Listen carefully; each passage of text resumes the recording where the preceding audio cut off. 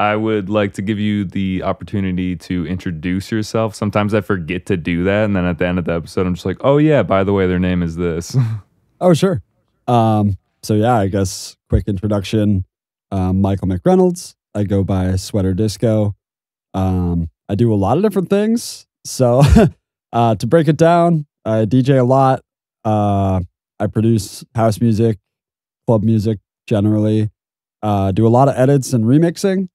Um, I am like essentially a full time freelancer, mixing and mastering engineer, producer.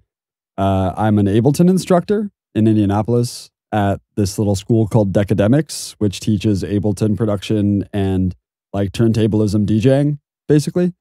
Um, beyond that, I was a live sound engineer for Old National Centre, a Live Nation venue up until the pandemic. So uh, I've got my many hats that I've worn, basically. Um, primarily focusing right now, of course, on DJing production uh, and just kind of figuring out what I want to do as an artist.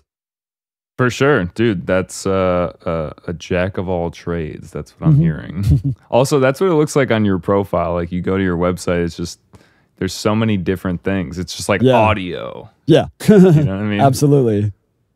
Hell yeah, that's awesome, man.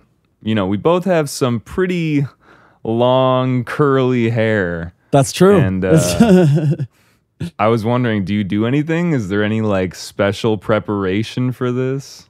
I mean, damn, it's like I Yeah, got a lot, a got a lot going on. Um, honestly, everyone always asks me that. I don't do much. I, you know, condition when I sure. when I can every couple of days. Uh, probably wash it like twice a week. You got to keep it natural, man. Yeah, yeah. And I've had this. I mean, I've been growing it out since probably like, damn, like seventh grade. It's been so long since I've had short hair. Like I, I remember, I just kind of decided to grow it out.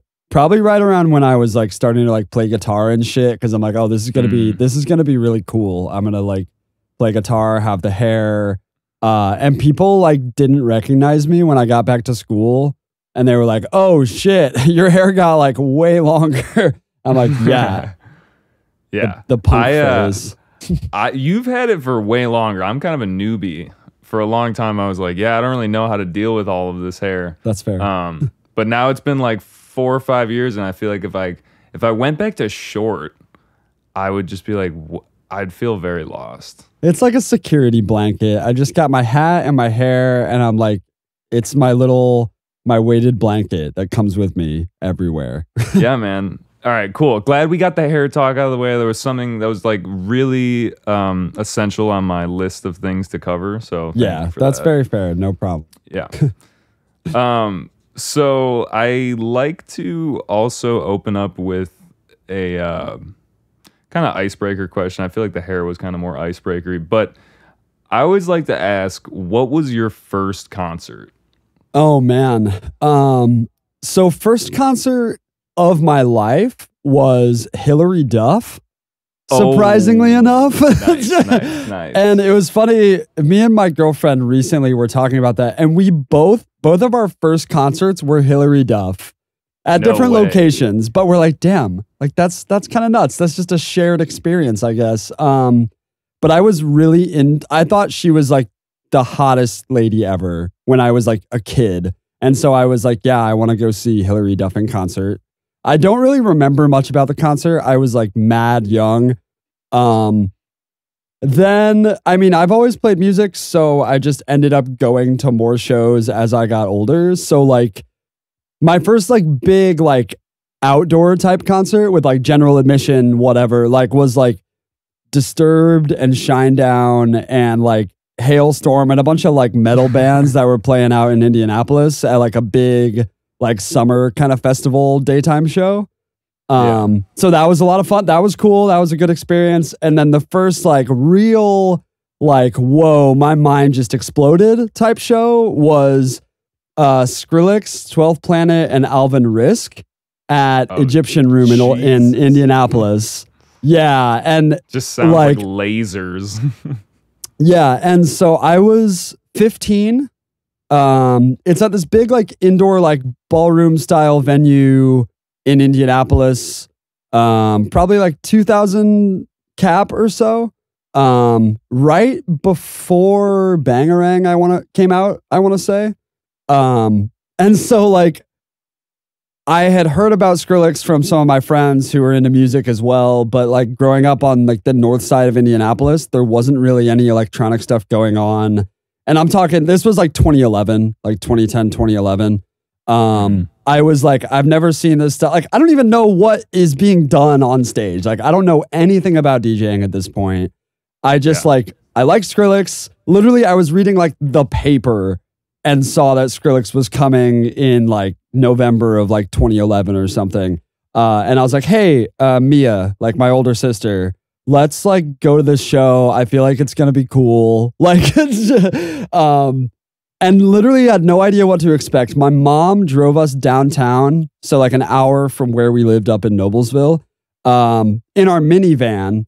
She like dropped us off at the concert, and all these people are coming in with like raver boots and like these crazy fits on. And my mom's just like, what the hell uh, did we get into out here? like, um, so she just like let we went to the concert and my mom just like waited at a Starbucks or something. Uh, and yeah, that was like game over for me. I was like, this is like the most exciting shit I've ever like been a part of, basically.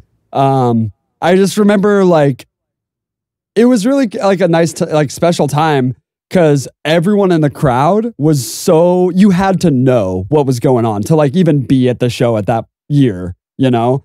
Um, sure. and I just remember like hearing like Reptile and Scary Monsters and like Equinox, and everyone's just like doing like at that point pre moshing. It was like the dubstep like hand wave where everyone's just like, Oh, uh-huh. and I'm just like vibing out. Like I was like, shit, I gotta go home and pirate Ableton uh, immediately. Uh, started making music like and just trying to piece together how to DJ like right after that, essentially, because I was Wow. like, I want to, I want to figure out what is going on with all this stuff, basically. Yeah, dude, for sure. I mean, I've heard Skrillex describe his concerts as like the most energy you've ever seen. And I've been to Skrill shows, met like I don't know how many times, but Yeah, he's sick and that it's just I, I don't know. I feel like that is an amazing way. I was gonna ask you about like origin stories, but that is just how we kind of got yeah. there.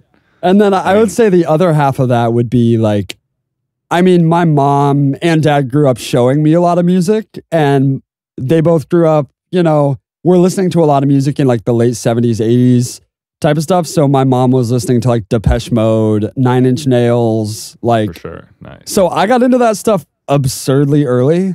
Like pro- I was probably listening to Nine Inch Nails in like sixth or seventh grade, and I was just like the angsty kid who's like playing guitar, listening to stuff like that. But it's just kind of the natural progression to get into the more electronic stuff from that because it has its roots so heavily in like synthesizers and stuff like that. Um, Mhm. so she actually got me my first deadmau5 CD as well, which was four times four equals 12. And I didn't Oh. know anything about Dead Yeah. Mouse at the time, but my mom just follows like charts and like she still does on like books and new books and, and CDs and whatnot. But she like picked up this CD and I didn't get it at first. I was like, oh, I mean, this is like, it's cool, but it wasn't like my favorite shit ever. Um, but then just over time, I was like, oh yeah, like all of deadmau5's like back catalog was really sick, and everything like since then has been dope. Um, but I think that helped a lot just to show me some more electronic stuff.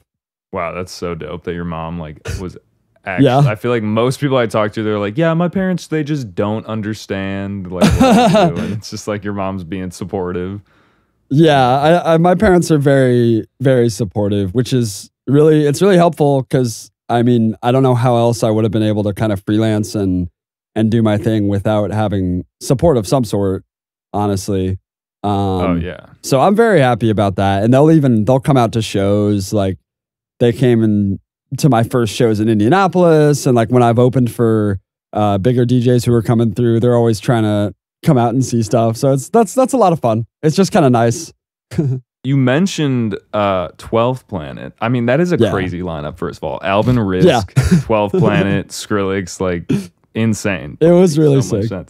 But I was gonna ask, this is a bad transition, but 12th Planet. I also know about Home Planet, and I wanted to ask how that started. And Oh uh, and maybe you can just explain what that is a little bit. Absolutely. So this is this goes there's so much content to unpack with with this, I would say, but essentially um so we started that show. I'm you know, 15, 2011. I start making music. I go through high school writing music, putting out mixtapes, whatever. Um I get to my senior year, I'm like maybe I want to pursue this through college. You know, maybe I want to go to be an engineer um, which I didn't really think of until my senior year. I honestly thought I was going to go to school to be a music teacher. I was going to play classical piano or jazz guitar. Those were like the things that I was like pretty sure about for a lot of my life up until that point. Um, and all of a sudden, I was like, you know what? Like, I can still play all the music stuff, but I, I want to do something that has more possibilities, I would say um and just engineering there's so much you can do with it. Like your day to day is always something new. So i decided to kind of pivot to focus more on that.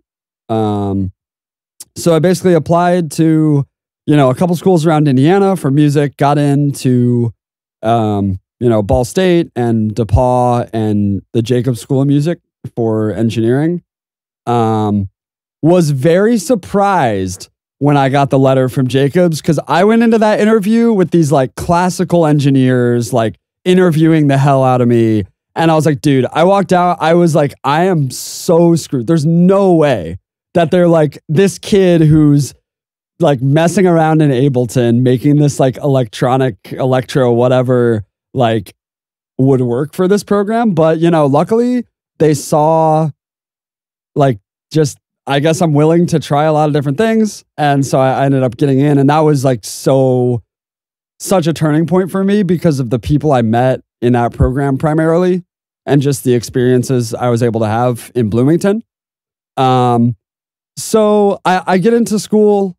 Um, I pretty much immediately meet like all, I had 13 other people who got into the program who were like my closest friends, essentially.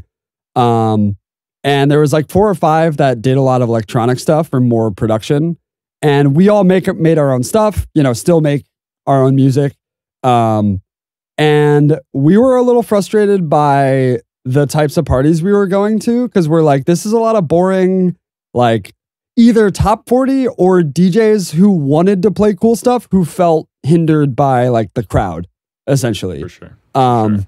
and we're like, damn, this like kind of blows because we want to like, you know, let people play their own stuff. Like we want to create a kind of scene for production and DJing that's like really pushing what we think is cool, essentially.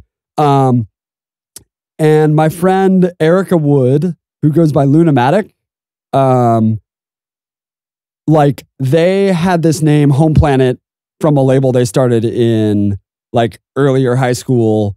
And we really liked the name. Me and Erica and Nick King, who were, you know, the three people who started Home Planet. And we started with just very rudimentary, like shitty graphic design. And we knew a lot of people who threw basement shows in Bloomington for like indie rock and whatever, but we really hadn't seen much in terms of like electronic music or DJing at all, like ever.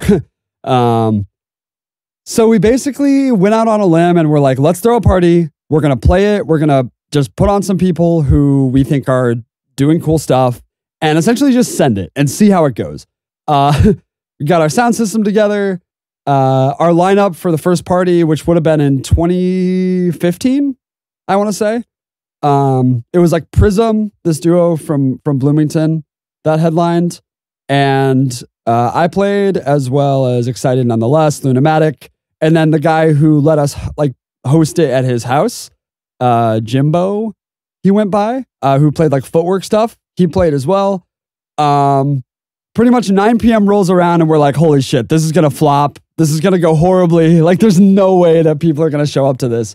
Um, but sure enough, like we get like an hour and a half into the night and we're like, oh shit, like there's like a lot of people showing up. people are very into the music. People are supportive of the DJs, they're being respectful. Um, and it's like at that point, a lot of us were playing like I I was doing more of a DJ set, but some of the other acts were doing primarily all original sets. And seeing that go off was like, oh shit, people are here to just like see what's out there, essentially. And that's that was super fun. I just remember playing like records that I was really into, like Kill Frenzy stuff and Justin Martin and like house stuff that wasn't really getting airtime at that point in college towns very much. Um, and people were like digging it super hard. I'm like, oh shit, we have like something really cool going on here. So we continued oh, yeah. those parties like through 2018. Along the way, uh, I met, well, we all just met so many of our friends, like people who are my best friends. We talk to like every day. um, like I met CLB, uh, Max that way, oh, along yeah. with the rest of the Ionic Collective guys like uh, sure. uh, Kai and Waxcraft, and you know oh, yeah, everybody else like Jake Doan, um, because Jake went to IU at the time as well, so that's that's how I knew him. Um, uh-huh. and just so many people like our our sound guy who ended up kind of renting out his club sound system to us for our later parties um, was one of our best friends kind of throughout that whole process. Uh, and he played like deep dubstep, drum and bass type stuff. And then we met, um, like do, if you know, like Solus presents like Wiley and um, like Uju and mm-hmm. Rinse, or those guys are kind of living in the Indianapolis area now. But like sure. I met a lot of those guys through their own parties and just being in Bloomington. Um, so it was really a kind of special time for Bloomington as a whole because we started to see like a real like uptick in the DJ scene and the producer scene uh, around that time, which was, you know, exciting that we were able to kind of be a part of that. And then mm-hmm. on the more national level, we were able to bring in like Jay Kutch and Zavi and for sure, uh, like Cam, Cam Stacy, of yeah, course. Yeah, yeah, like, I mean, and that was just people who we met only solely because we were throwing shows and just wanted to bring in people from out of town who we thought were doing cool stuff. Um, so yeah, and then I've just continued Home Planet in Indianapolis as a now monthly party at a little dive bar called the Melody Inn. Um, oh, cool! Where, Fuck yeah! Yeah, yeah. Uh, and I just I recently we actually just had our six month show on Tuesday, like two days ago. Um, so that's been a lot of fun. Uh, I've pretty much been handling that because I'm pretty much the only one in the crew who's living in Indianapolis right now.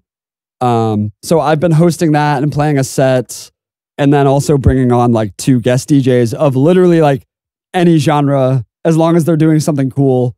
Um, just yeah. like each month. Um, like this time we had like a drum and bass DJ Haji Mari and like a Jersey club DJ um Navi, who are both from Indianapolis. And it was like I love just making these weird pair ups of genre and it like usually works, which is really fun.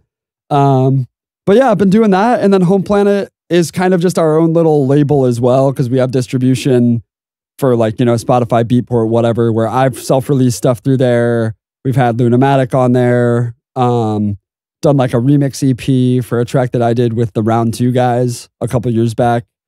Um, yeah, just a lot of fun, and it's like I've always loved the whole visual kind of aspect of Home Planet because we lucked out with the graphic design, and it's just something that a lot of people like. Um, but yeah, I'm just running with it, seeing what happens. Uh, it's just a fun thing to have on the side.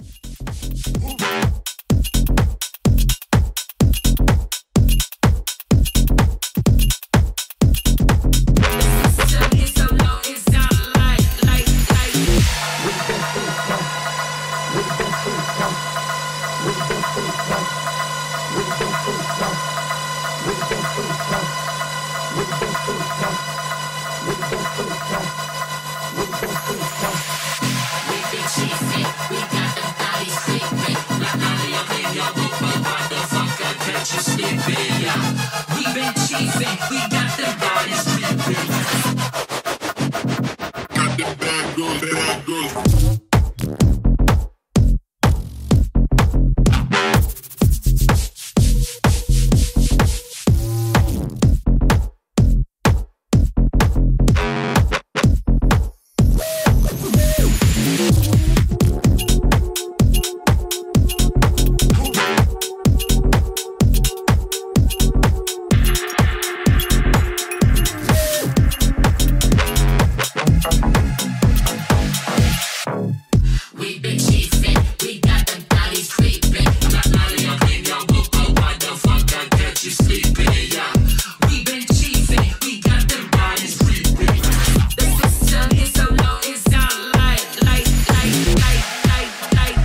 Curious what you think of the the DJ like equipment as an instrument because obviously there's levels to it. You know what I mean? You're just like depending on what you're doing, it can be more and more difficult and you know if you Yeah. have four tracks going, it doesn't necessarily mean it's going to sound good, but to pull it off and do it well, that can be really cool. Yeah. Um, so what do I think about uh, what do I think about the DJ? Like, is it an as, like, instrument? equi- as an instrument? Is it an Um, instrument? yes, yeah. a thousand percent. Yeah. Um, I I feel right now like I have the same relationship with a rack of CDJs and a mixer as I did with piano, as I do with as I still do with with instruments. Sometimes even more so. Like sometimes I'll go back to the piano and have to like reacquaint myself a little bit, but I almost have muscle memory of like CDJs in a mixer at this point. Like and I know how the signal flows. I know how the signal flow runs of the effects, whether that's on like certain channels or on just like the the master effects. Um, I feel like every time I play a set, I learn something new, and I try to learn something new about you know how to mix, how to do a more interesting transition. Um, and I think like yeah, it's very accessible where like a lot of people can learn the basics and understand how to do it, which is great. Like I think that's so fun that people can learn how to DJ without like spending years trying to learn how to do it essentially. Yeah. Um yeah. because really like if you have any sort of taste of music, like you can have fun as a DJ. You can even be a good DJ Yeah. if you have like solid taste in music and no technical skills. Yeah. Essentially. No, I Um, I uh, I taught my girlfriend like you know if you got like two YouTube videos going and you want to transition and you just like turn on the volume of one and then you kind of turn it up. So now she's like, I'm a DJ, and she has honestly she has really good uh, taste in music. So it's like that's that's like ninety percent of it. I mean, you can get Yeah. really technical, but if you're playing good music, I don't think people are really gonna care about the technicality. Yeah, I, I remember even when like a few years after I had started doing stuff in Bloomington, and there were a couple DJs who were just starting, who are now like fantastic DJs in Indianapolis. Um, but they were starting on like virtual DJ and stuff, and people were like, "Oh, like that's whack, whatever," because it's virtual DJ. I'm like, "Yo, like these DJs playing on virtual DJs, like they have way better taste than you, like legit, like and." it's that's not the important thing. The important thing is the the playing the good music. I literally if the music's good enough, I don't care if the transitions are kind of whack. Like the music speaks for itself for the most part. Um of course the technical side is important. Like Yeah, the better you are at the technical stuff, the more I, I guess the more seamlessly you can represent like yourself as a DJ and with less kind of hiccups in between songs is good. Like that's good for you as a DJ to be able to do. Um but also if you're playing really wild records and it's just hard to like beat match, like whatever. It's fun to hear the mix happen. It's fun to hear like the little screw ups. Like that's what makes it a live performance, you know? For sure, Um for sure. and that's like when I'm juggling, you know, three decks, four decks, and I've got stuff going. That's my mind trying to push myself even harder than I've I've gone before. Yeah. Um, and you just learn more. You, like if you're always pushing and learning more about the performance, about the gear, about how the gear works, you're gonna come out the other side like a good DJ, essentially. Um, So yeah, it's an instrument. I mean, okay, okay, it's an Yeah, instrument. yeah. You've heard it here first. Um, Decademics. How did you? Yeah. Well, I mean, we don't really have to talk about like how you got involved, but I'm curious what you do there. Do you do? Um, is it mostly CDJs? Is it like actual turn? Do you do scratching? I've always wanted to do scratching, but I've always wanted to do it on like real vinyl. So, yeah. Um, so basically, the people who run Decademics are like legendary DJs in Indianapolis, like DJ Metronome and DJ Top Speed. And I'm sure there's others that I'm forgetting. Uh, but those are the two people who I like associate most with Decademics are like nutty, long standing hip hop DJs, turntablists. and they started the school primarily for teaching turntable DJ. Like, For sure. um, and be, I agree with that. I think that if you can teach someone on turntables, they will have no problem going to CDJ. Obviously, Yeah. Like, Oh, you can Um, see where all the kicks are? Like, you know, that's yeah, that's easy. it's like if you can do, if you can, you know, play vinyl, you can play whatever. Like that's that's cool. Um, they also have CDJs, which I've taught lessons on every once in a while. If people come in and ask for specifically like some CDJ pointers, um, because that's the thing that I know inside and out. Um, but what I do there is Ableton teaching. Um, Oh, cool. Pretty much like number one, far and away. Like it's only a handful of times where I've taught like CDJ stuff. Um, but what I do on my like week to week basis is I teach Ableton, just how to use it, how to get around the program, how to remix, sample, make sounds, do sound design, use effects, mix, master, um, pretty much anything uh, from a level like zero knowledge to, you know, however far you are along in learning Ableton. Um, I've been doing that since 2020, and it has really advanced my understanding of Ableton oh, I as bet. a program, obviously, Yeah. because like it's one thing for me to just do my thing and be like, oh yeah, it works like this. But if you have to explain that to someone who's never seen an audio workstation, um, that's like most people would fall apart. And Yeah. I did at first. Yeah. I was like, how do I even explain like how do you explain sample rate? How do you explain bit depth? Yeah. I'm like, oh God, like what even is this, man? like um, or like dithering so- pops up and you're just like yeah. and they're like, "What's- I'm what's dithering?" You're like, "Uh, Um, well, they add noise to Like- the signal, and you're like, bro, I don't know. That's like some Yeah. intense technical stuff. so yeah, I, I teach like that, uh, some mu- basic music theory stuff along with that. Um, but yeah, I'm really glad to be able to do that. And it's people who are sometimes very young. Like I'm teaching a kid now who's like, I think he's like 11 or 12, um, how to use Ableton, which is insane to me. Amazing, Like, amazing. And I know if I was 11 or 12, like when I was that age, there was nothing out there. Like there was pretty much nothing out there for me to learn from, Yeah, essentially.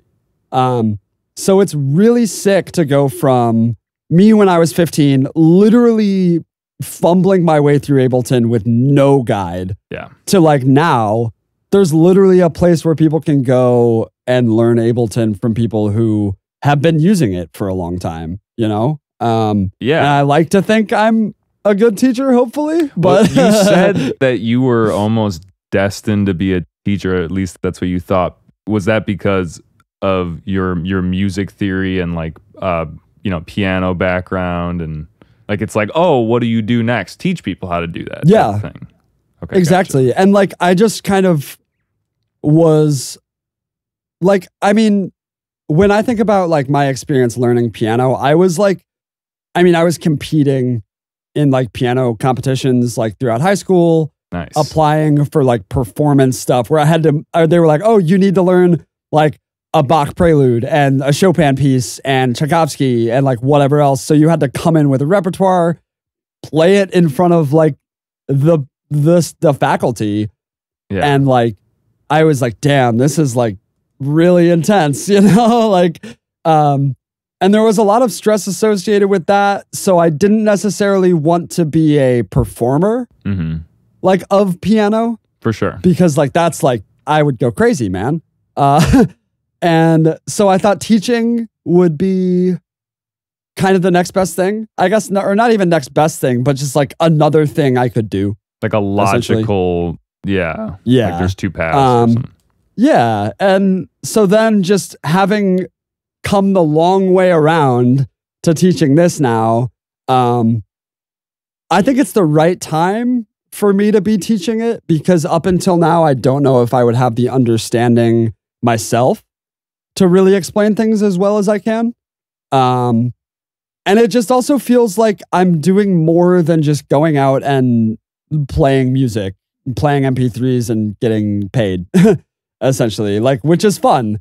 But I love that I'm able to kind of help out people who are learning as well. Yeah, I mean, that feels like it would be just intrinsically more rewarding because you're connecting with someone you're like seeing that light bulb go off in their head i mean it can it can Yeah. get kind of lonely just throwing out hey i'm doing this hey i'm doing this look at this that i'm doing it's like of course you have to promote yourself but it's it feels kind of narcissistic in a way but you have to do it you know Yeah. so um, but yeah, I like that teaching doesn't involve any of that stuff. mhm. kind of. Um, it's really just all about like really if you break it down, I want who I'm teaching to to feel like they are learning something that is fun and that is rewarding and kind of like doing some sort of magic trick on a computer because that's kind of what it can be like sometimes. yeah Um, and I love being able to show people something um, and they're like, whoa, like it just like clicks and they get really excited about it. And they're like, oh, so that's how you do that thing that I heard in that one record that I really like, you know? And I'm Mhm. like, yeah, like it's it's not some mystical thing that's way out there like a lot of people think it is, you know? Like it's very accessible if you understand the software, if you understand like where to go to ask for help on like how do I do this thing? Like I am there to try to explain that to you. And I love it when people come in with questions. I love it when they listen to something and bring it in and they say, "Oh, I was hearing this technique or I heard this artist doing something that I really liked." And then I can break it down, essentially make it more accessible for them. And that's like a really cool thing to be able to do that I would be super happy to have had when I was 15 Oh, so I'm yeah. just glad that I can do it now well for people who are even younger. and it's just like a new way of continuing to learn too like if someone comes to you and they're like oh i want to learn how to do this like skrillex screech and you're like yeah, well i don't i don't know exactly but like let's look at it oh it's probably using this synthesizer like fm8 or something uses a lot of that or you know Yeah. whatever you like guess and then you go in there and try to figure it out. It's like you gotta kind of reverse engineer stuff which would be like a fun Yeah. little game to do honestly. It's like so yeah that, that is cool. That is i feel like very helpful. It's not just for the student. It's also for you. Yeah.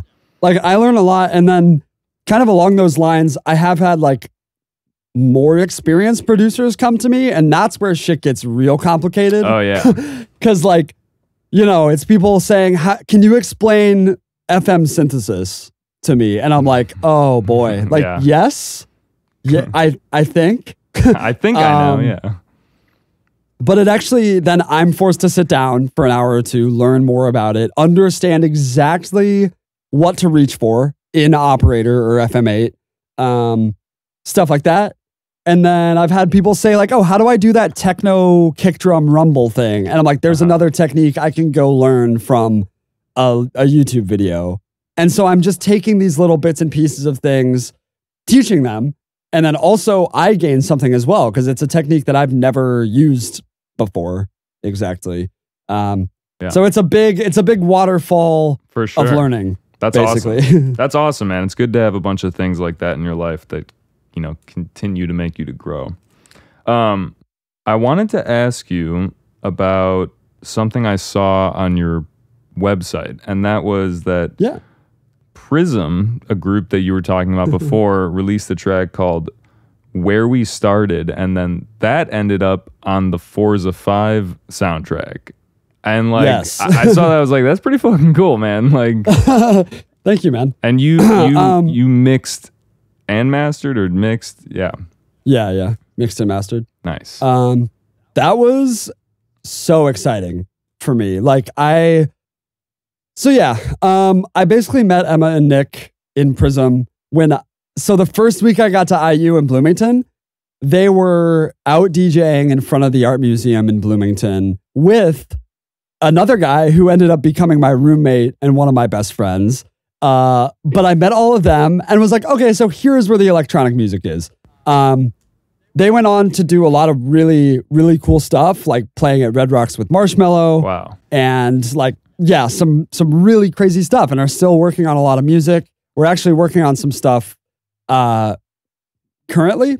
I'm not sure when, like what the timeline is on that, but it's, you know, sounding good. But I worked on where we started and release, I think it was, on that EP that they put out, which was around 2018 or 2019, I want to say. Um, so yeah, song wrapped up, uh, mixed and mastered, sent off.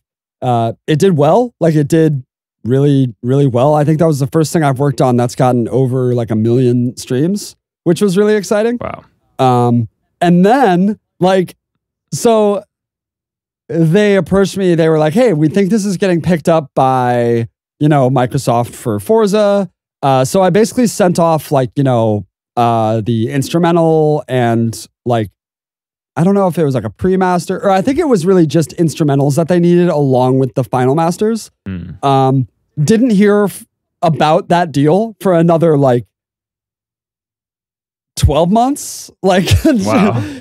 Because like I mean the the game development cycle is so long. Like Right. um so from pretty much inception of that deal to when the game released was 18 months where I couldn't say shit about it. and I was like, "Oh god, like I really hope this doesn't fall through Yeah. because this opportunity is like really sick." Um so finally the Forza 5 like soundtrack premieres are coming out and it's on there with like Porter Robinson and these like number one pop artists and like Dua Lipa. And I'm like, there we go. Like Yeah. that's the credit that I needed, like Yeah. to put on the top of my portfolio, Hell whatever. Um, super excited.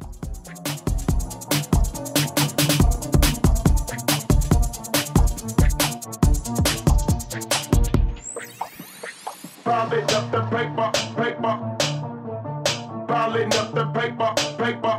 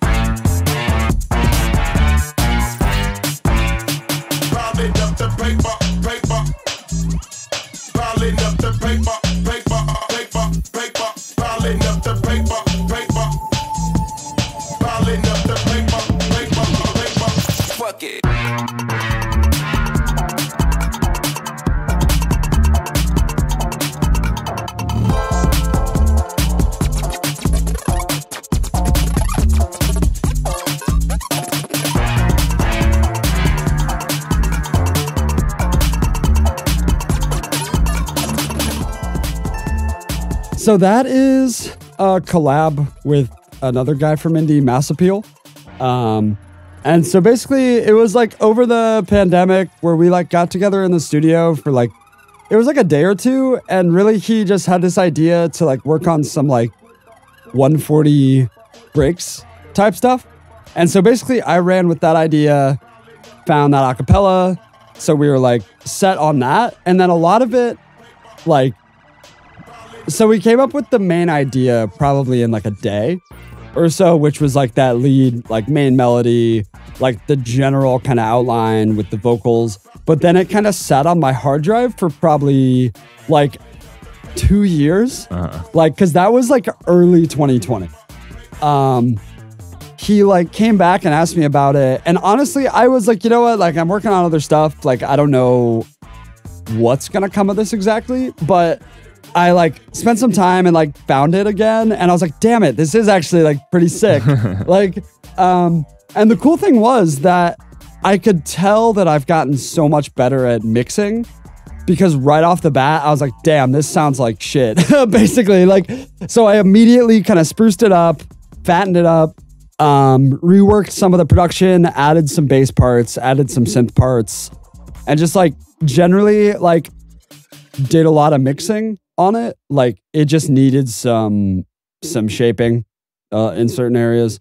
Um, and it ended up really sick. And I was like, you know, this record's really weird, and so I don't know what to do with it exactly. but he kind of came back to me like a few days later and was like, "Hey, Morelia, who's like a house and footwork and juke artist, uh, wants to put it out on on Teethy Records, which is where it ended up." Hmm. Um, and so I was like, "Oh, hell yeah!" Like considering this is a record I had nearly no intentions of doing much with when I when I first started it. Like, I am just happy to be putting out something that's like not a house record because it's really the first thing I've done in a very long time that's not like house, tech house, bass house in that kind of area. Mm. Um, even though it's still got like a lot of my quirks that I usually put in things, like the weird noises and weird synth so like solos and Uh-huh. whatever else. Um, so yeah, we rolled that out. That came out um last month, like early last month, um, on this compilation with like eight or nine other tracks. Um, and it was super cool just to be on on something that's a little more on the underground side, like more on the electro breaks footwork kind of tip, which is cool because I would love to be able to play more of that stuff in my sets. So this gives me a great reason to do that, you know? Yeah, for sure, dude. I mean, you got to just explore whatever you're into at the time. And if this opens up that door too, Yeah. sometimes you make something and you're just like, I don't even know. This is pretty cool. Maybe I could do this more. But then I'm always thinking like, you ever think about going under a different moniker for the the purpose of creating a different genre? Uh yeah, I I've considered it, but I I think that like for me anyway, like I don't have much of a like brand, I would say. Like for me, my brand is just it's it's me. It's like you. people literally think my name is Sweater Disco. Like yeah. essentially. I called Like, you on the people- phone the other day. I was like, uh, sweater yeah. disco? Like, Yeah, it's like I I know people for years sometimes, and they're like, "What is your real name?" And I'm like, "Wow." Uh, like, uh, but it's cool. It's kind of cool that like, I mean, it's just who, what my personality is. I guess it's just like it fits. Um, and so I like to think that sweater disco is just whatever I want it to be. Essentially, like it can be weird bass music even if i wanted to put out like a bass record i would just put it out it can be it can be experimental synth stuff which i've done it can be like a punk record like which i put two out of like which is weird and i don't know if anyone even like listens to it but i just like don't care. Like i want to put stuff out that i love and that I, if i make something that i love i will just put it out under my name without really thinking like oh how how is this going to affect my brand? You know like what what is this going to do for me? Like i don't think people really care. Like i think they want to hear all sides of an artist essentially. Like if people don't want to hear that then they can listen to whatever else they listen to yeah. You know? you can listen to a Um, playlist of the music yeah genre that you Like- want to hear. Yeah. um i i just think it's fun to experiment and it's fun to like i want to show other artists in doing that that like you can go outside of your box you can like do something that's just fun and that's silly like you could even make dumb shit that's fun and put it out and like i don't know unless you're like tiesto nobody's really gonna care like basically like He's pretty set i mean in his ways. yeah, it's like you don't have to take like your whole brand like so seriously. Like it's good it's good to take yourself seriously and know what you're going for. Um because that helps people like fit into, you know, the dance music scene on the larger side of things, you know? Sure. Um, but like, there's so much room for experimentation that I think, like, especially now, people like they want to see some different stuff. You know, it's not it's not big room house anymore. It's it's you can do whatever you want, and we want to see some innovation, basically, and like multi-genre DJ sets and multi-genre DJ nights. Yeah. Um, and if I'm gonna say like, oh, I'm booking like a multi-genre DJ night, whatever. Like I want to make that stuff too. I want to I want to practice what I preach basically. Um and so yeah, it's just about having fun, playing stuff that's cool and having a nice old time. yeah. That's and about like, it. like I feel like trying to be professional or like, you know, push yourself again. Try to be Yeah. professional, you know, push yourself, experiment, learn some stuff. Yeah.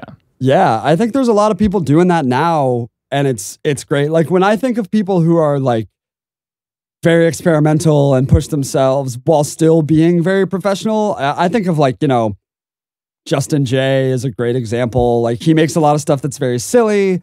That's but he's broken out of like where he started with like house stuff and is now doing like electro rave music, like whatever else. I think like Anna Morgan with um Worst Behavior Records is doing a lot of really cool stuff. Like everyone who we know in Chicago is doing like the craziest shit imaginable. yeah. Basically, like, I feel like every. I mean- so I've been doing this show for like I don't even know how long it is, but maybe three, four years. But I took a break for a while, and now that I'm back doing weekly releases, like a lot of people that I interviewed previously, you know, they're not the same person. Like they're not the same Yeah. person, and they don't even have the same name. They're not producing the same genre, and it's like, it's good. Like I would be a little bit concerned if you were like same level of I don't know, not that it has to be success oriented, but if you were just like in the same place listening to the same music, I'd be like, damn, you really love that specific type of music. You know? yeah. It's like you gotta you gotta let yourself change. You know, like Yeah. nobody nobody stays the same and there's no reason why your career has to, you know, stagnate because you're afraid of trying something new for fear of like, you know, upsetting whoever, you know? Mhm. Like at the end of the day, if you're able to just keep going and keep creating and keep finding something new to get excited about, I think that's a win. And other people will probably get excited too, you know? For sure, for sure. And that's that's something to keep in mind for sure. Um, I feel like Yeah. I feel like this episode is like your teacher's coming out a little bit. You know, we want to let Yeah. we want to guide people in the right direction. And I actually Yeah. I I'll have to put this back at an earlier part when we were talking about mixing, but I remembered what I was going to say and that was um, you know, for people who are you know, like you get into this type of music and there's so many avenues and you don't even really realize that you could be a mixer, master, you could do live sound. I mean, you do it all. So it's like you've gone through it all. And for someone who's trying to get into like mixing and mastering, I'm just kind of curious like what would be a little piece of advice to to bestow upon them. Like you're just getting into it, you're mixing your friend's song like yeah. just practice, like Um, use reference tracks. Like I don't know. I mean, I think any advice that I give is okay. So I've actually had someone or a couple people have asked me this just throughout the last few years. Like, how do I, how do I like live as a freelancer? Yeah. Essentially, like, how do you make rent? I- like, I've only recently made rent off of freelancing. It's fucking hard. Congrats, Like, man. That's dope. That's dope. Thank you. Um, but like people were asking me for advice, like looking for like a magic answer of like, here's the one thing you have to do to to make it, to to make a million dollars and whatever and retire and whatever else. Um, but to be real, it's like it takes years. Like it took me up until literally December to move out of my parents' house because I was I was like not consistent enough with work and just building up that portfolio and whatever else. I would say, okay, so step one is you're gonna have to do stuff for very cheap. Yeah. and as a side thing if you if you have to have a job have a job um do the thing as a side thing and do it for cheap and do it for as many people as comfortably possible pretty much um because you're gonna really up your skills. You'll learn what people expect and you will build your portfolio which is very you know good Mhm. to be doing, of course. Like without a portfolio, people don't trust you, Yeah. basically. Like people have to see that you've worked on, you know, at least a few things that sound okay for them to take a chance on you. Um, and learn as much about what you're doing as possible. Like read books, look up who the best people are in your field, and try to learn anything from them For sure. basically. Um, I- if you're in a city that has studios, like I would say, it's a great help to work with an engineer who has a lot more experience. You're always going to learn a lot that way. Mhm. Um, oh, we're, sorry, were you going to add something? No, keep going. I'll, I'll ask it afterwards. Okay. um, once you kind of are in that phase, keep a portfolio either written out in like a Google Doc or like a CV of some sort. Uh, a website is great, like which is why I Yeah. have my website is to keep everything all in one place. It's presented in a very professional manner. Um, there's also no fluff. There's no there's no I will make your record sound so good. I will I will do whatever. Just give people the facts. Uh, here's what I've worked on. Here's how many plays it has. Here's how many artists I've worked on. Here's the artists and the songs that I've worked on. Here's what I did. Here's my studio. Yeah. That's it. Here's how much it costs. Yeah. so, um, I the more straight up you are with people, Mhm. the more they will trust you as well. Um, oh, sorry. You what? No, I was I was just gonna say that like I feel like you can get in over your head. Like, of course, Yeah. if you uh you know take on as much work as you can, but from my experience is, and I'm curious what you think of this is like revisions. You know, if the client isn't getting what they want in the song from you, how do you handle that? Yeah. Because part of that is a reflection of maybe it could be a reflection of skill set. It could just be that you're not seeing eye to eye. What do you do in a circumstance like that? And how many revisions do you give? So, I am usually pretty lucky with. At least I think I'm very middle of the road on how many revisions people usually need, depending on the project. So what I do uh, when I take on a new mixing and mastering client or project, um, I will ask for like what are some reference tracks? Of course like what do you who do you want to sound like? What do you think this record should sound like? Um and so i take that and usually run with that for the first you know version that i get worked up. Um i'll get the first mix sent up um and if that's a master if it's starting from the mastering phase i will listen to their mix and give very very detailed feedback on what i need changed to make the mastering easier. Um so for example if someone's like what can i do to make this sound better i will say okay yeah um bring the kick down two decibels bring the vocal down one decibel bring the hi-hats up 1.5 decibels whatever else send that back they send me a new mix whatever else um and then the kind of like the opposite thing happens in a mixing job where I send them my version one and they say, uh, less this, less this. Um, the balance is great with the kick and the bass, uh, less hi hats. The high end is too aggressive, whatever else. I'll take that feedback, incorporate it into the mix. Usually it takes one or two to get it nailed down. Um, and then I move on to mastering with them which goes much the same way, which is I compare to their reference, see how loud things are, see how to get it sounding as close as possible, and then maybe do like one or two re- revisions there. Um, and then usually they're happy with it. I send the you know MP3 and Wave, and we are on to the next, or um, just uh, yeah, just done with For that sure. project, I guess. No, yeah, Um, that's thank you for just that walkthrough because I feel like that is helpful for people who wouldn't even, you know, really know like, oh yeah, dude, I'll just do like a hundred revisions and just be on the hook for like, do you? No, yeah. you know, that's tough. Also, I think um, mhm, yeah, Oh yeah. Um, I would say if people are asking for that many revisions, there's so in in my mind also I have an idea of how much I am worth per hour. So per hour that I spend on a mix, sure, I say, okay, I should be making around thirty dollars for this hour of work. Um, so for a full mixing and mastering job, I end up spending, you know, six hours, seven hours on a on a track, you know, um, which I think is is a good amount of time. I think it's Yeah. a reasonable amount of time. Um, and so that that kind of helps guide my decision making as well when it comes to what I spend time on in that six or seven hours.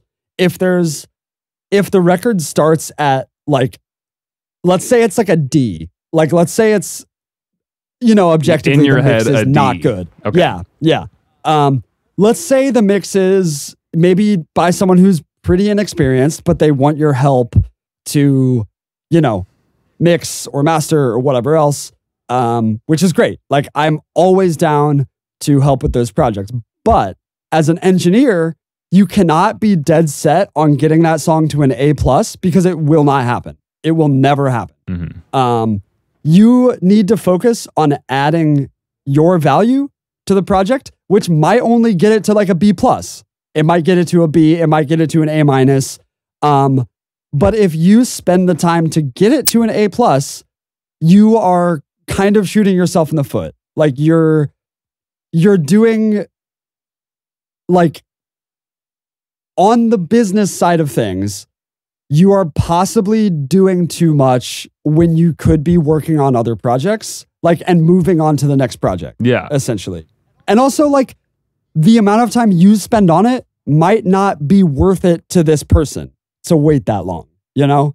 Um, I think most people are very happy if you send something back and it is like two letter grades better, Mhm. which also means if someone sends you like a B, which is probably what happened, like, I mean, even like the Prism stuff was like an A in my eyes. I'm like, damn, this sounds really good.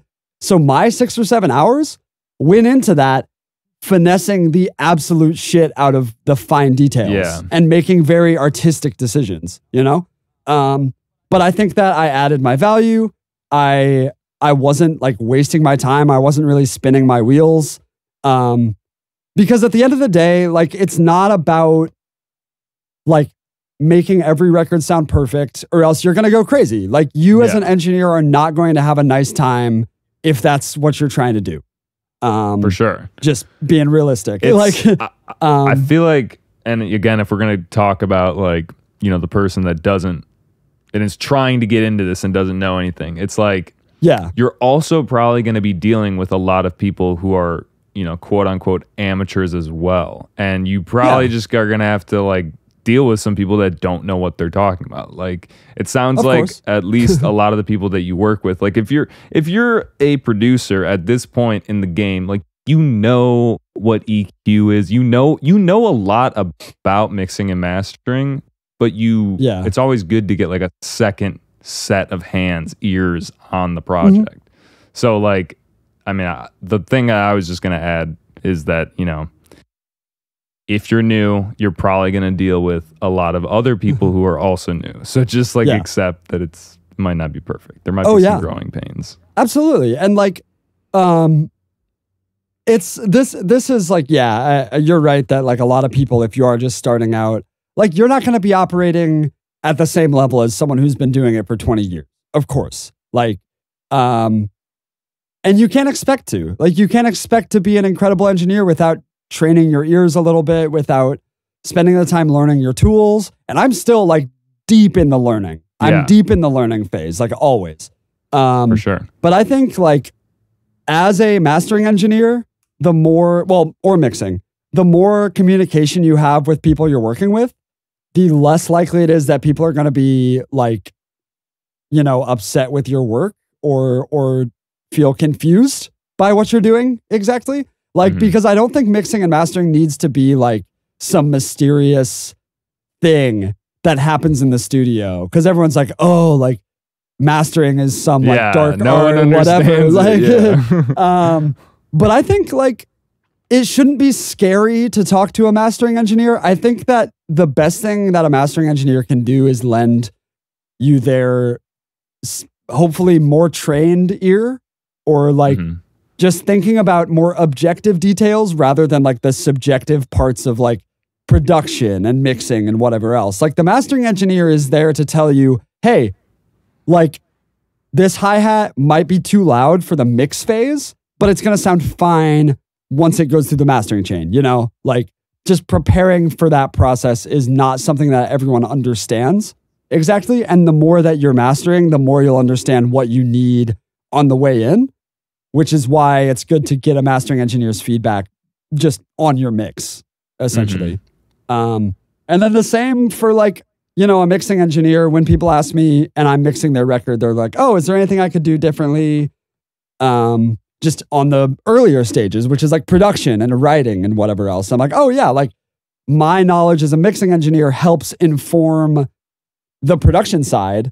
As well as it helps to inform like the mastering side of what I do. So it's great to have all these kind of sections of the job like intertwining a little bit, Mhm.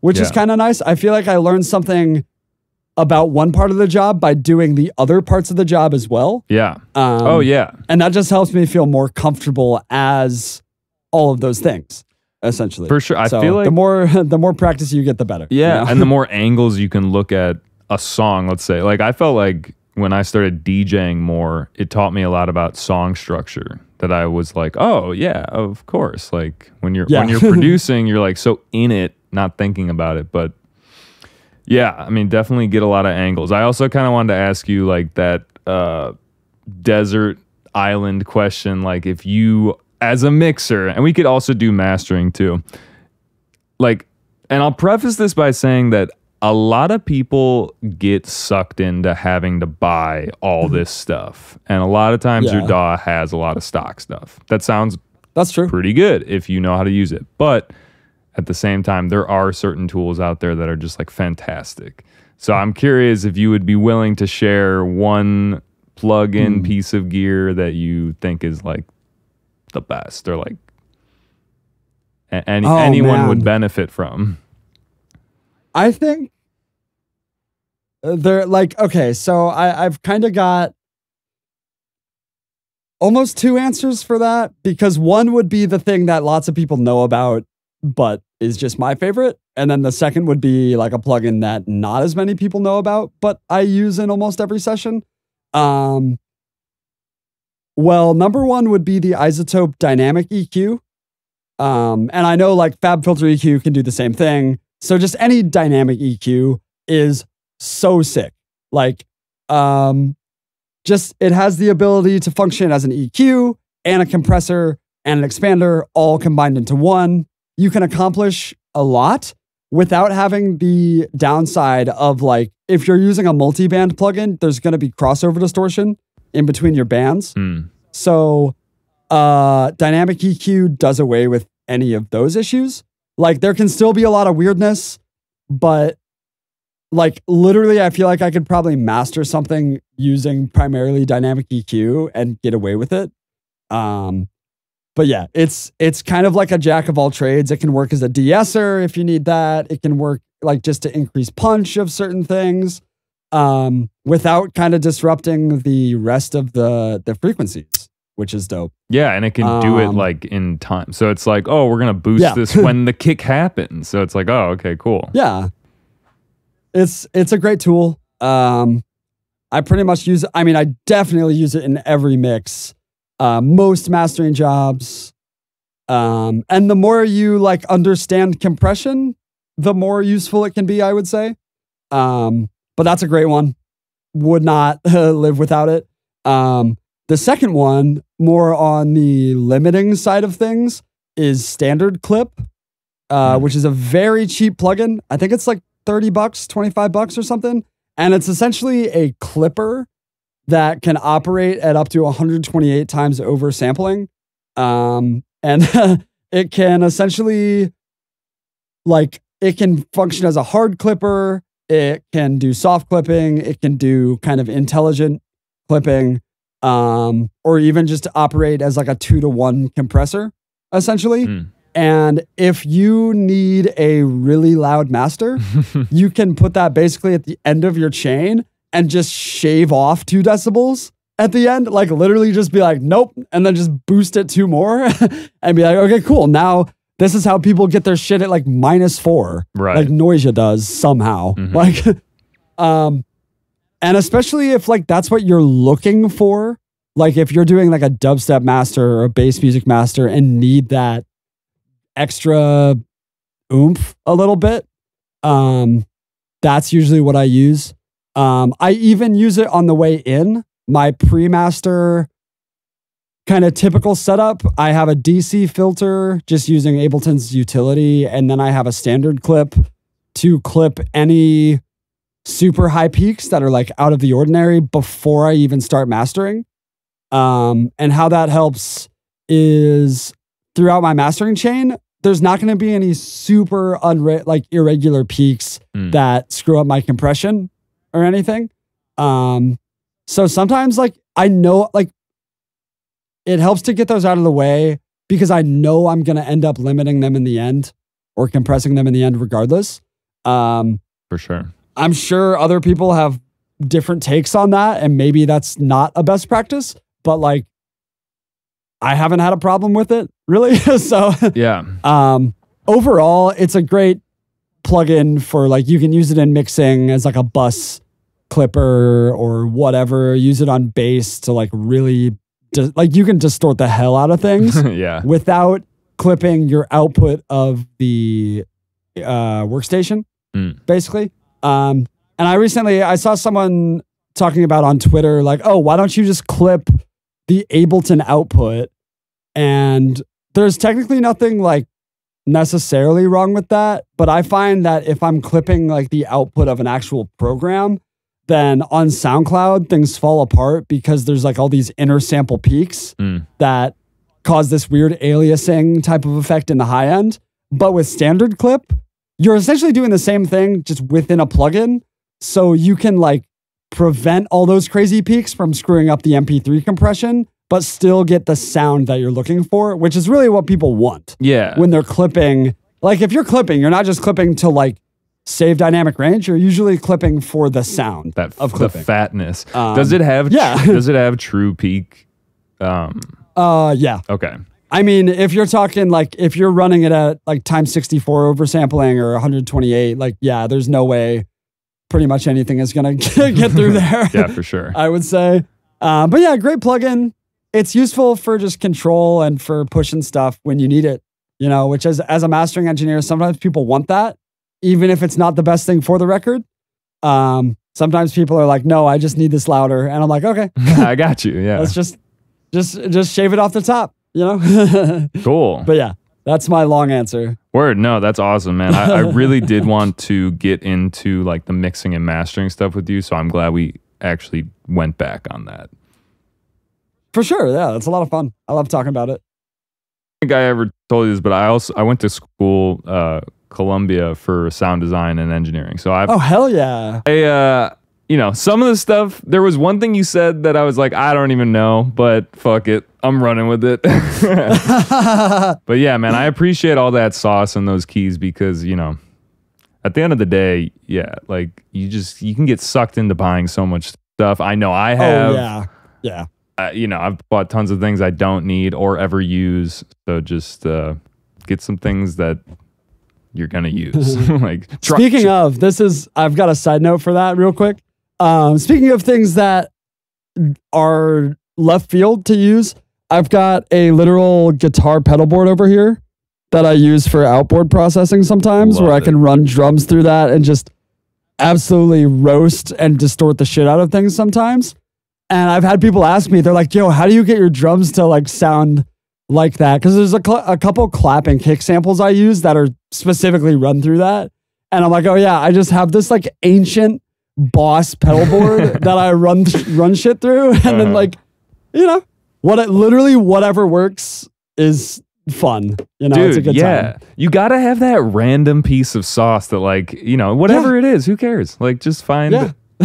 find something. Like, if it's a piece of gear that no one else has, like that could be an upper Perfect. hand, even if it's a piece of crap, Exactly. essentially. you gotta you gotta have your sound. You know. yeah, for sure, dude. Well, uh, thank you so much for a little little teaching action there. I I know no worries. I man. know I learned some stuff. I hope other people did too. Um, Hell yeah. I want to I want to wrap with a uh, a question that is similar to one of the first questions I asked you, and I feel like you kind of already answered it. But uh, you know, we talked about what your first concert was, but what was your favorite concert? And also because you play shows, I also wanted to ask, what is the favorite show that you've DJ'd? Oh, so it's a two part question. Yeah, that's a really good one, honestly. Um, oh man, favorite show that I've been to. like obviously Skrillex was amazing, you know. Yeah, um, I, f- I feel like oh man, okay, I might I'll, let me think on this for a second Yeah, because I'm yeah. just recounting what I've been to over the past, you know, years. Uh, could be a friend Oh, show. shit. It could be a friend show. It could be um, just something that was really special to you that you walked away from and was like, wow, I kind of need to move differently now. I would say the most truly like past past the Skrillex show, the most life changing kind of show for me um was at so Dirtybird Barbecue when they toured with that in in Chicago actually. Um I was just getting into house music. I knew a little bit about it and me and my sister went up to Chicago for the Dirtybird barbecue. Um, I was definitely like not 18 yet. I don't think. I think I was probably 17 or uh, maybe I was. I was probably. I was probably 18 actually. Um, and it was like Justin Martin, J.Phlip, Shiba San, uh, Claude VonStroke, and uh, someone. Oh, Kill Frenzy. Um, and that was so sick to me. It was like really intimate. All the DJs were just like right there. There was not much lighting going on, like no LED screens, and just like killer music, killer sound system. I had never seen DJs like play house live before, I don't think. Um, and I was like, whoa, I didn't know any of these records. I like it was just such a new experience for me. I was like, I loved it. I learned something, I feel like. And I didn't realize that DJs could be this good and this big playing stuff that was so out there and like not mainstream, essentially. Um, and that really kicked off my like drive to like just learn more about house music, learn more about how to play house. Um, because it was it was just such a cool time. I felt a lot of unity like with the crowd. Um, and just everyone was very into the whole Dirtybird aesthetic, the the like, you know, vibe that they give off, you know. Mhm. Um, and it was really cool. It, it was very inspiring to me. Everyone was really nice. It just seemed like a tight knit kind of community to be a part of. Um, and I, yeah, I, I would say that was. It's just one of my many favorite shows. yeah. Favorite show that I've played. Who? Um. Oh, I've okay. This this is an easy one. Um, just the encouragement that I got from this was massive.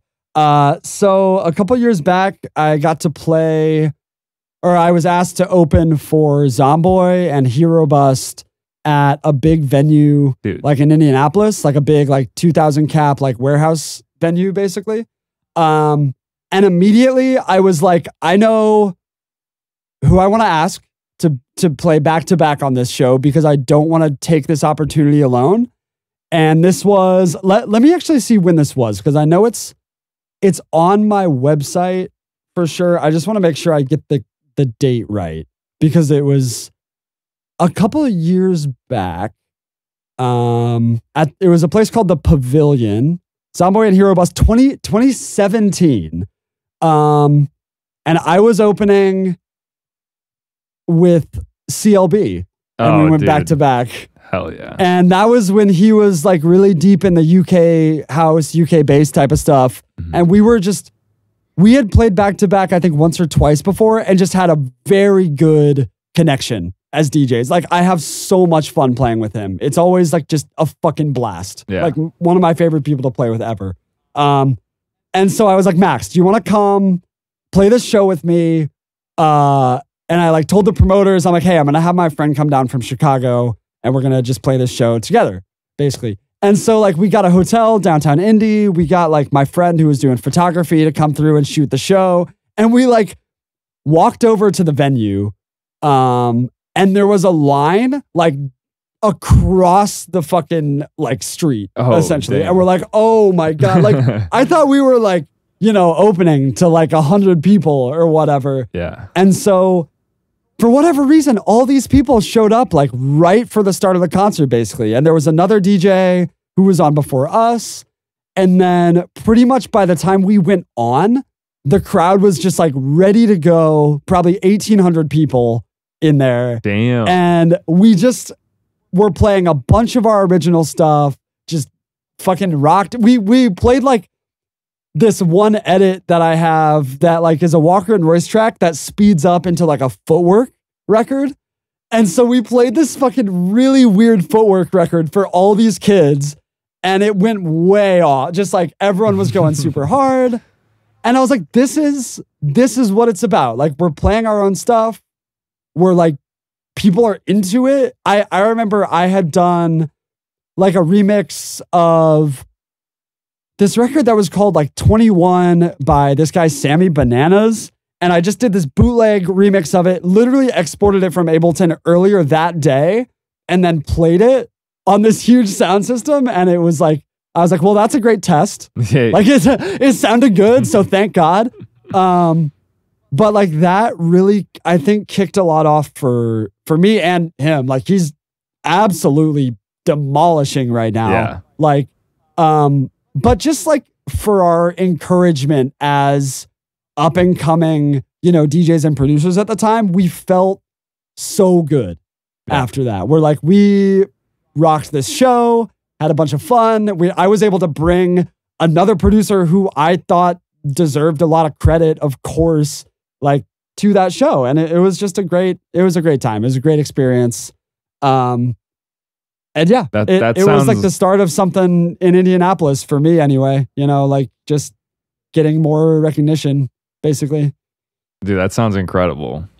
Yeah, it felt great. like Yeah. Uh, wow. it was Wow. really fun. Those were some good answers. And like, Yeah. that- damn, man. I'm glad I was able to come Yeah, through on that. came through for sure. Um, word, dude. Well, dude, thank you so much for coming on the show. This was a lot of fun. Like, Well, thank you for having me. dude. Of course, we could do it again sometime. Maybe, hopefully, Yeah. you'll be in Chicago or I'll be in Indiana. and We can link up in person. But That'd be some- awesome. Sometimes these online ones aren't the best, but this one was. This is a keeper for sure. Hell Um, yeah. I'm glad to hear that. dude yeah um thank you for bestowing all your knowledge upon us um i just wanted to give you the chance to you know tell people where to find you um what you're doing anything coming up For sure. Thank you. Um, yeah, so uh, very active on Instagram. That's where you'll probably hear about, you know, DJing, production stuff, new music, mixes.